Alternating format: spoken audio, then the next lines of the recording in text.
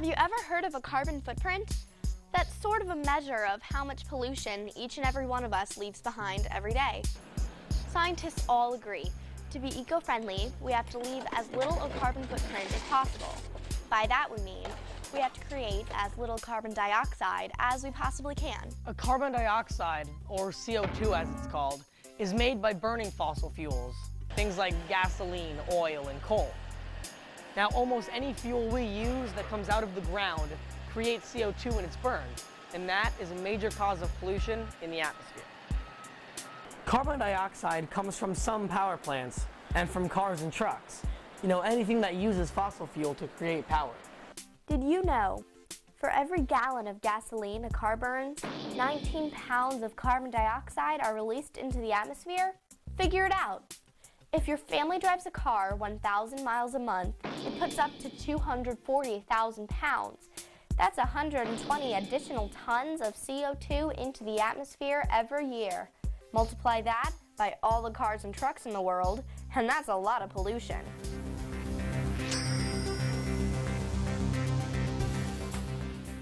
Air pollution, or smog as it's sometimes called, causes something else that you should be aware of, acid rain.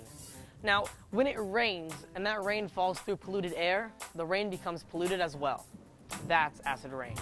Acid rain can poison fish and animals, pollute rivers and lakes, and even do damage to buildings. Acid rain also kills trees. Here's a little experiment you can do that will prove what acid rain can do. Um, it's about 15 Place two plants side by side near a window so they receive the same amount of sunlight. Then, whenever the plants need watering, give them the same amount of water. Only add a few teaspoons of lemon juice or vinegar to one of the plant's water supply. Then, watch them grow over the next two weeks.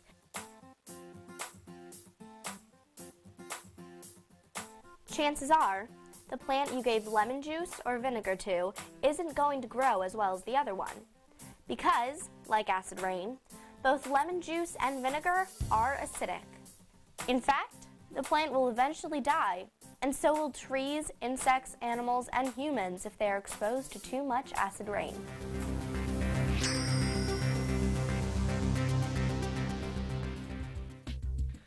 Later on, we'll discover how simple it can be to cut down on the use of polluting fossil fuels and leave less of a carbon footprint on the earth. It's just a matter of learning wise and unwise ways to use energy. Now, in addition to the atmosphere, there are two other parts of the earth that are getting sick as well the ground we walk on and the water we drink. First,